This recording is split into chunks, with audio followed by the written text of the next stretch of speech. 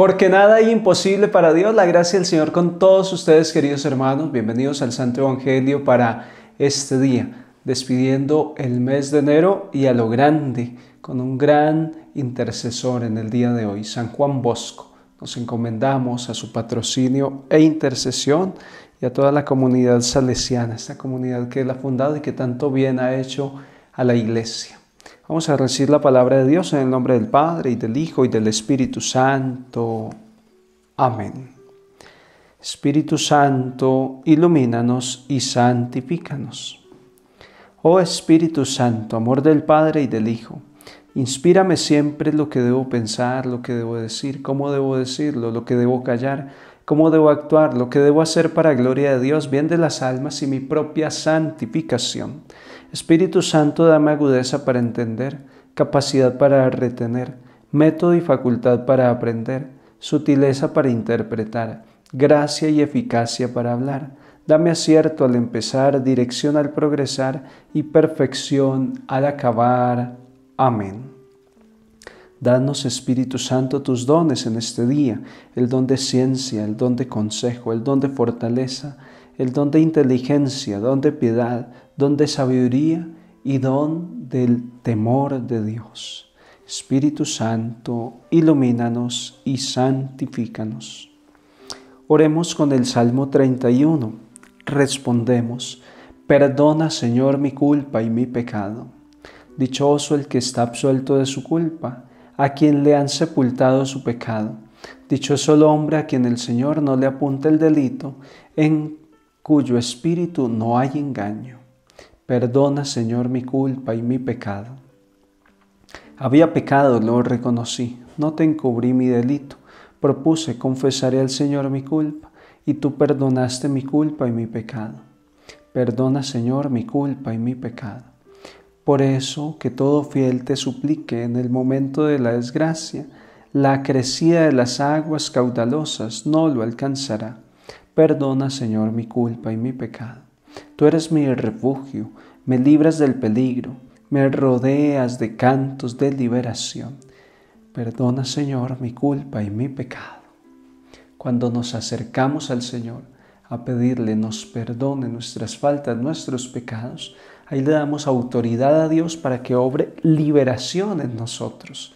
Liberación de toda realidad que no nos deja caminar en libertad hacia Dios.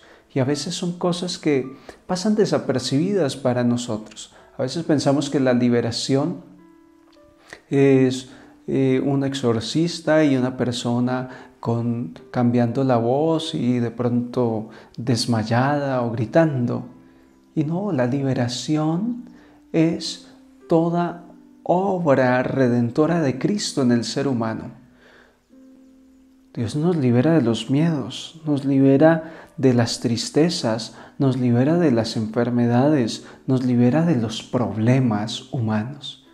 Cuando invocamos a Dios, cuando le pedimos nos perdone, Él nos rodea de cantos de liberación. Qué bonito este Salmo 31 para meditarlo en este día. Compartamos el Evangelio que ilumina este día el Evangelio de Marcos en el capítulo 6, versos 1 al 6.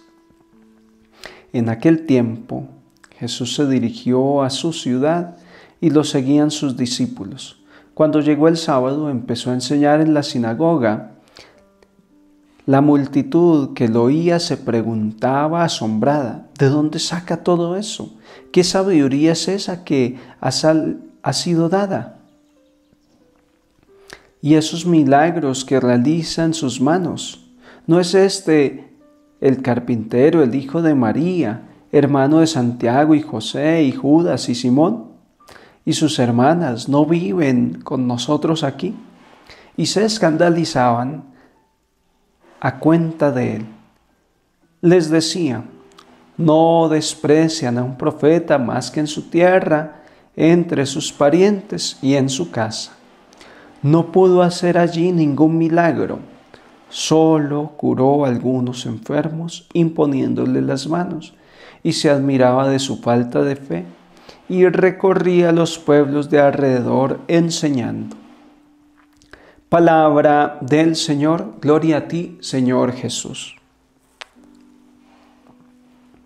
El evangelista San Marcos nos, nos presenta a Jesús en plena actividad evangelizadora, en plena vida pública, predicando la palabra con autoridad, con una sabiduría que la gente estaba deslumbrada. Y decían, pero es que este lo, lo vimos crecer acá en el taller de, de don, don José, ahí como carpintero, lo hemos visto trabajando. Nunca fue a una escuela filosófica, nunca ha estado a los pies de un rabino, un maestro, para decir que, que tiene mucha sabiduría y conocimiento de la palabra. Y asombrados decían, ¿de dónde saca esto? Entonces como que no lograban asimilar al muchachito que creció por ahí tirándole piedritas a, las casas de los vecinos y jugando con la madera del papá y que ahora es carpintero, no logran asimilar que ahora está hablando con una autoridad, con una gracia especial, que obra curaciones. No, no, la gente no lo cree y esto les juega en contra porque les cuesta aceptar que Jesús es el enviado, les cuesta aceptar ese mensaje le resulta tan increíble que su, su mente no asimila. Y dice el evangelista que Jesús allí no pudo obrar milagros. Oiga, milagros no pudo hacer. Solo curó a algunos enfermos. Hay que establecer la diferencia entre milagro y curación. Curación, dícese, de la intervención de Dios en una enfermedad que con medicamento y tratamiento podría curarse en un tiempo, no era una enfermedad de muerte, con tratamiento se podía curar, pero Dios interviene y la curación se da ya, sin el proceso. La curación se da sin, sin los medicamentos, sin esperar dos años, se da una curación. Entonces, esto es algo más sencillo que el milagro, porque el milagro es la intervención sobrenatural sobre una realidad y rompe con las leyes naturales. Por ejemplo, cuando los médicos dicen, esta persona ya se le hizo todo lo que se podía a través de la quimioterapia, el tratamiento para el cáncer, ya no pudimos eh, erradicar este cáncer, le quedan dos meses de vida. Entonces ya el diagnóstico es científico y esa persona por naturaleza ha de morir en dos meses. Dios obra un milagro, el cáncer se cura y la persona sigue viviendo aún contra la ley natural. Jesús no pudo hacer milagros, no pudo hacer cosas más grandes. ¿Por qué? Porque les faltaba fe. Jesús se asombró de esto y quedó asombrado. Esta gente sí le falta fe. Y lo decía porque él en otras comarcas que había ido a predicar, la mujer metió la mano entre el gentío, le tocó el borde del manto y se sanó, o sea, con una fe impresionante. El, el hombre que sirve al imperio romano, que va y le dice a Jesús, mira, mi criado está enfermo, a ver si usted hace algo por él. Dijo eso, sí, sí, sí, vamos. Y dijo, no, no, espérese, yo no soy digno de que usted entre a mi casa. Usted dígalo de palabra. Usted tiene mucha autoridad. Yo también tengo gente a mi cargo y yo le digo, no, ven, y viene y al otro le digo, ve y va. Entonces, no, no, Jesús, usted dígalo de palabra, tranquilito, usted no tiene que ir a mi casa porque usted se, se contamina, porque usted, los rabinos y, y la gente de, del templo no puede entrar en casa de nosotros los pecadores, pero basta que lo diga palabra. Entonces Jesús había encontrado personas con mucha fe, pero en su tierra, allí donde él creció, no le creen. Y dice Jesús, definitivamente se cumple esto de que no desprecian a un profeta más que en su tierra. Y en Colombia lo diríamos en el refrán popular, no hay cuña que más apriete que la del mismo palo. Nosotros que nos llamamos cristianos, hijos de Dios, bautizados, ungidos por el Espíritu Santo, bautizados y ungidos como sacerdotes, profetas y reyes, a veces somos los que menos. Los de casa somos los que menos. Los que menos le creemos a Dios, los que más dudamos, los que menos testimonio damos. Y hay personas que apenas medio han escuchado de Jesús, apenas medio conocen un poquito, pero aprovechan al máximo eso. pero yo puedo cambiar esa historia. Yo puedo hacer que Jesús se admire de mi fe si empiezo a confiar, a confiar, a entregarme a Dios, a abandonarme como Santa Teresita del Niño Jesús, que empezó a abandonarse, a abandonarse. Y cuando uno hace eso, uno logra algo como el santo que estamos celebrando hoy, San Juan Bosco, que aunque sea en su casa, en su tierra, Dios lo empieza a usar y la gente empieza a creer. San Juan Bosco se santificó ahí en su tierrita. Es muy bonito porque la veredita donde él vivía, donde estaba la casita de la mamá, su obra creció tanto que al lado de la casa de la mamá, él construyó el oratorio para acoger los muchachos, para, para evangelizarlos.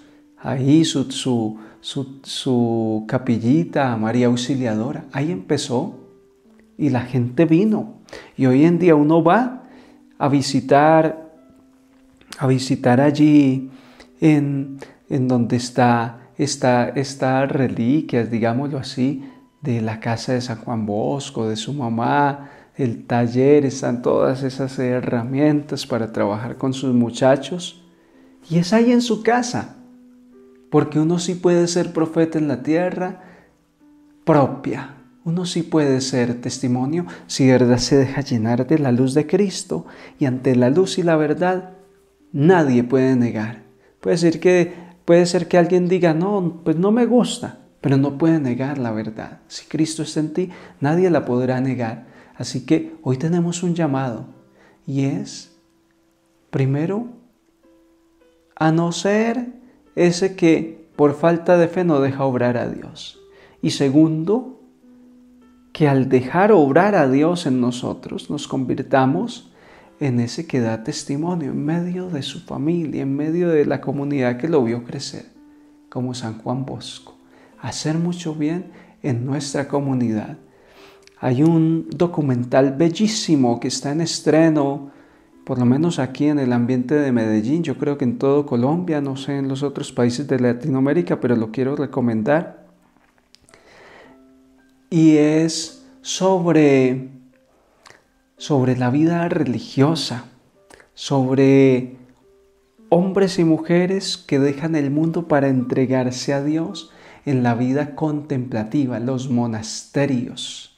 Vamos a ver, si se me está escapando el nombre de, del documental, pero sí me gustaría que lo vieran porque de ahí saqué una, una frase que me ha llamado mucho la, la atención en estos días y es qué es ser santo, qué es ser un buen cristiano. Dice una religiosa dando testimonio de, de su vida religiosa y dice, a cada persona Dios nos pide ser buenas personas.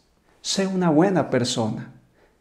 ¿Y qué es ser una buena persona? Dice la religiosa. Florecer donde Dios te plante. ¿Y cómo saber que estoy floreciendo, que estoy produciendo fruto donde Dios me ha plantado? Y dice ella, si estoy dando la vida por los demás donde Dios me plantó. Eso quiere decir que estoy floreciendo. ¿Qué hizo San Juan Bosco? Dio la vida por los demás allí donde Dios lo plantó.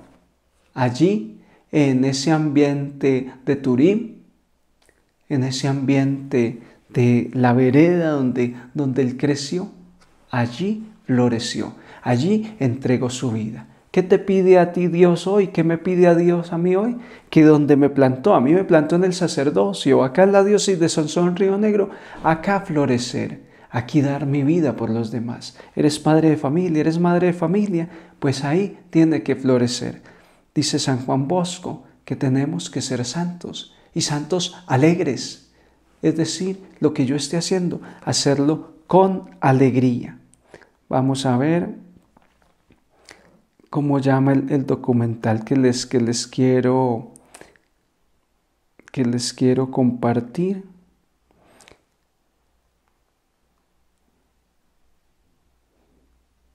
Se llama Libres. Es un documental se llama Libres, está en estreno, por lo menos acá en, los, en las salas de cine de Medellín está de estreno. Me encantó.